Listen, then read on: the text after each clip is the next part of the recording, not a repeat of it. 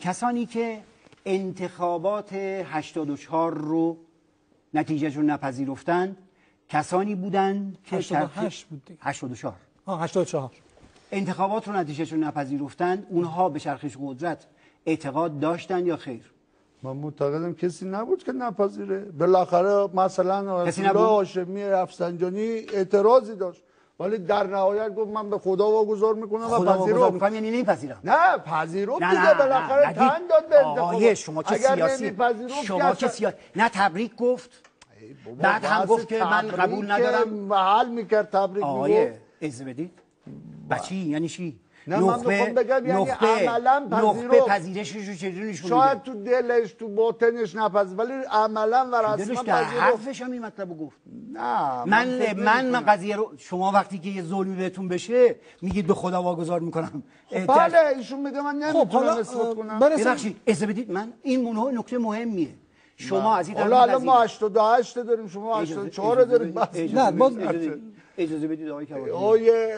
سلیمی نمیم ما ارادت داریم و واقعا هم از جمله. اصولگرایان لطیفی است که ما خیلی جا.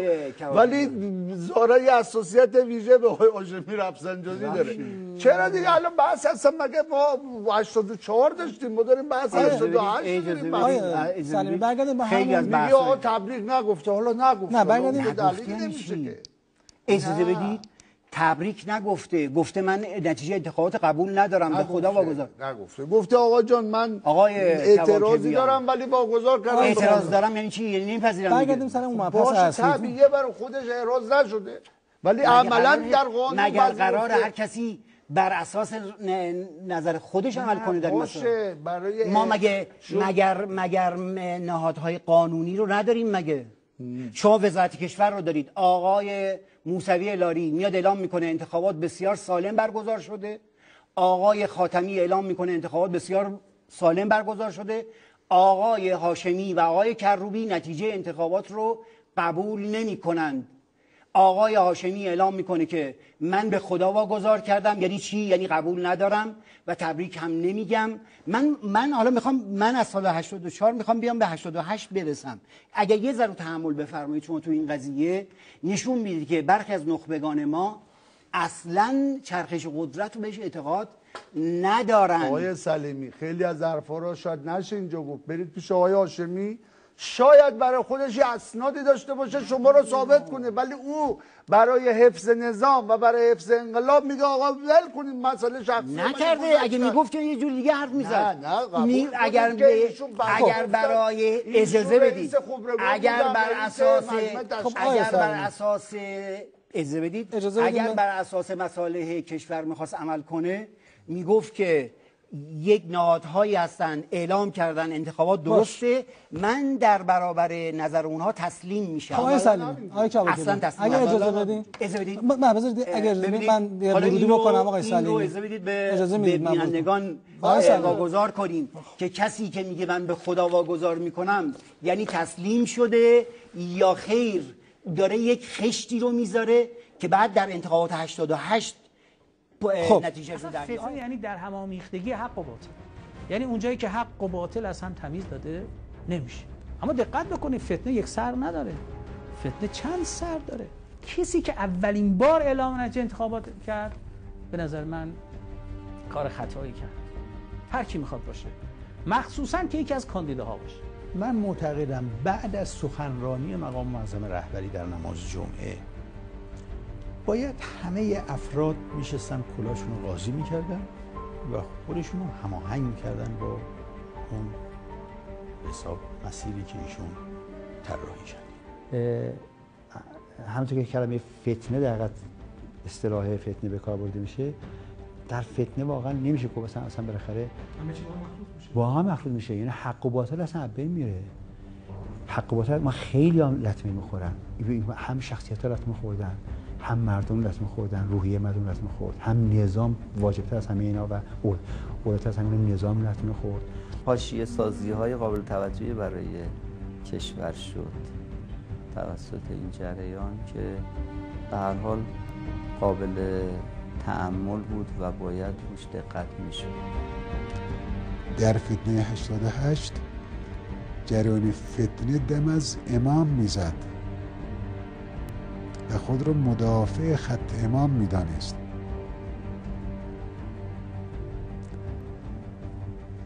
و همین امر باعث فریب بسیاری از مردم شد.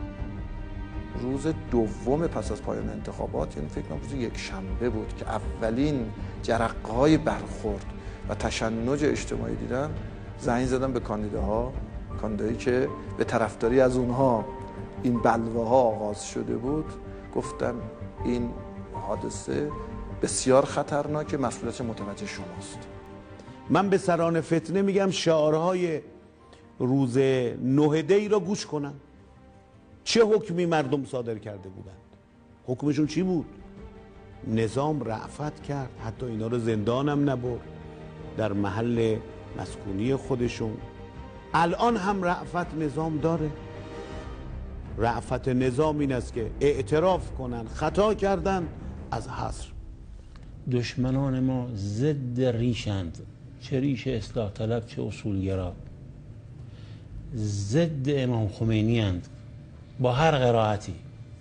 ضد ولایت فقیه هند و ضد ولی فقیه هند پایداری ما در دفاع از این اصول. ولی فقیه ولایت فقیه. انقلاب اسلامی و اسلام و مفهوم دین. اینا یه نقطه سپید ندارن. همه کارنامهشون سیاست خب اون وقت اینا را چیزی نفهمید که مسئله براندازی نظام بود. به اسم تقلب. خود اینا بعضیشون من نمی‌خوام نام ببرم. خود بعضی این نام که مدتی زندان بودند بعد آزاد شدن حالا آزاده. خودش گفت که این تقلب رمز حرکت ضد انقلابی ما بود. اما این آقایون هرگز حاضر نشدن مشتشون رو باز بکنن. مشت و بسته نگه داشتن برای کوبیدن سر نظام. شخصا هم باشون صحبت کردیم. دلیلش هم این بود عرض می‌کنم دلیلش هم این بود که اگر مشت باز می‌کردن چیزی تو مشتشون نداشتن. فقط عنوان تقلب. یعنی وقتی آقای تاجزاده تو زندان میگه که من به عنوان کسی که انتخابات رو انجام دادم می‌دونم نمیشه تو انتخابات ریاست جمهوری تقلب کرد. خب باید حرفشون برمیگردوندن. باید هم حرفشون برمیگردوندن خیلی مسائل حل می‌شد. خیلی صفا مشخص می‌شد. ما 24 هزار کارت کارت ناظر برای ستاد های موسوی ساله در ستاد های موسوی 24 هزار تا. بیشترین ناظرین بود 11 بود 11 بود که وقتی آقای موسوی اعلام کرد من برنده خیلی برای من جای تعجب داشت. یعنی اونجا دیگه من قطعا احساس کردم به صورت قطع برنامه در پیش این مسئله تقلب در انتخابات که میگید شده نه اثباتش می‌کنید نه پس می‌گیرید. این چجوریه اما موقعی که مثلا رفتیم با موسوی صحبت کردیم خب آقای موسوی گفتش که من اصلا نه شورای نگهبان قبول دارم نه مثلا وزارت کشور. انتهای این بحث طولانی این شد که ایشون این جمله رو گفتن که اگر تمام این 13 میلیون اعلام بکنن که تقلب نشده است من می‌گویم شده است. ما دیدیم که واقعا بر این گفتار هیچ منطقی حاکم نیست. واقعا کلمه فتنه چه به موقع گفته شد که این فتنه ای بود که روشن کردن و خیلی به ارزش های ما توهین کردن. خیلی چیزایی که ما اصلا تو عمرمون ندیده بودیم اصلا باور نمی کردیم اتفاق افتاد. توهین هایی که شد اقدامات روز عاشورا انجام شد اصلا باور نمی کردیم ما. یعنی ما هرچی عمر کردیم همیشه بالاخره محرم و تاسوعا و عاشورا و اینا یه جایگاهی داشت. یه آدم با هم چیز مواجه بشه خیلی سخته. خیلی سخته. حضرت چیزی بپرسم. به ما هم جایزه می‌دید چون من بحث قانون مداری رو می‌خوام بیشتر تاکید کنم. شما جایزتون محفوظه بله. حتما. شما جایزه ببینید من الان نپرسم یعنی من قبل از این. واقعا همین پلی بک که شما نشون دادید. یعنی تو این کشور یک نفر اصلاح طلب هم نبود از اون ورم برید فیلم بگیرید پخش بکنید. بابا بود که آقای شهبانی که بود بابا؟ آقای شمخانی اصلاح طلبه. نیست؟ من نمی‌دونم اگه اخیرا اصلاح طلب شده باشه. اصلا من فکر کنم من که نگاه کردم طیفای مختلف توشون بودن توی این ودیای بالاخره اصلاح طلبی اصولگرایی شد. این برنامه این این حالا به هر حال به نظر من خیلی بودن که یه نظرات متفاوتی هم اصلا این برنامه هفتگی آقای کواکبیان پخش میشه. حالا به هر حال می‌خوام بگم همین جای قصه قابل نه بذار من بذار من به هر حال بذار نه به هر حالی که دارید بگید من بگم. این برنامه که برنامه شناسنامه است که در واقع ما بخشایش انتخاب کردیم اینجا پخش کردیم شناسنامه سراغ همه رفته. زمانی که آقای دکتر روحانی هم رئیس جمهور نبودن خدا حفظشون بکنه اولین مصاحبه با ایشون بود و خیلی از اصلاح طلبایی که منم نمیره آقای اسحاق جهانگیری خدا حفظشون بکنه توی میدون هفته تیر جای خدمتشون رفتیم باشون صحبت کردیم ایشون آقای انصاری آقای ترکو و و و خیلی و خیلی هاشون هم در مورد همین هم صحبت کردن. پلی بک پارسلمون هم بیارید از اونها هم گذاشته بودیم. حالا این دفعه شاید کم رنگ تر کمی کم رنگ بوده بعضیشون هم بعضیاشون هم واقعا صحبت نخواستم بکنن. بعضی هاش بعضیشون مثلا واقعا بعضیشون سوالتون ما در خدمت هستیم دیگه بالاخره اصلاح طلبا موجی هم توش بود. نه واقعا هم بعضا ما چون ما چون بله اون که دیگه حالا نمیشه ما چون احترام می‌گذاریم سعی می‌کنیم چون واقعا تاریخ شفاهی شناسنامه از زمان قبل انقلاب شروع میشه بعد ما سعی می‌کنیم احترام بگذاریم بعضیشون خواستن ازشون سوال نپرسیم ما سوال نپرسیم. ارزم حضورتون که آقای کواکبیان حضرت آقا توی توضیحاتی که تو در مورد فتنه داشتن گفتن که صرفا فتنه صرفا منحصر به حضور عده‌ای تو خیابون ها نبود. بلکه یک بیماری بود که با اقدامات سیاسی امنیتی هم قابل دفع نبود. فقط با حضور مردم می‌شد. این رو به نوعی جمع کرد که مردم هم حضور پیدا کردن. اگه واقعا مردم حاضر نمی شدن اولا با چه هوشمندی مردم حاضر شدن؟ چه جوری با این هوشمندی رو مردم ما کسب کردن که این مواقع حساس میان؟ و اگه واقعا حاضر نمی شدن آیا واقعا می‌شد با اقدامات امنیتی و اینها جمعش کرد؟ البته ببینید بنده که گفتم که ویژگی های به بحث نویده که نمی باز جناهی بشه مصادره به مطلوب نکرده باشیم گفتم. ولی واقعا یه تدبیرایی هم بود. من اون موقع عضو کمیسیون امنیت ملی مجلس بودم. یه طرحی رو ما آماده کردیم و شاید چهار پنج جلسه خدمت مرحوم آیت الله مهدوی کنی هم رسیدم یه عده از دوستان دست مینداختن من تعبیرم این بود لوی جرگه ایرانی. و بحث ما این بود که میشه واقعا نشست و صحبت کرد و مباحث حل کنیم. از جمله این که نتیجه انتخابات همه بپذیرن. ولی یه قطعیت هم در رسیدگی به تخلفات هم وجود داشته باشه. و حتی مجلس میزبان باشه با پیام مقام معظم رهبری شروع بشه. همه اطراف قضیه جالب این بود همونه که گاهی تمسخر می‌کرده اخیرا که سر عبدالله عبدالله و این رئیس جمهور جدیدشون گفتم آقا اونا لوی جرگه تشکیل دادن حل کردن. شما اون موقع مسخره کردید. حالا من نمی‌خوام بگم که حتما هر شود که میبایست با حادثه نویده این قصه تموم می‌شد.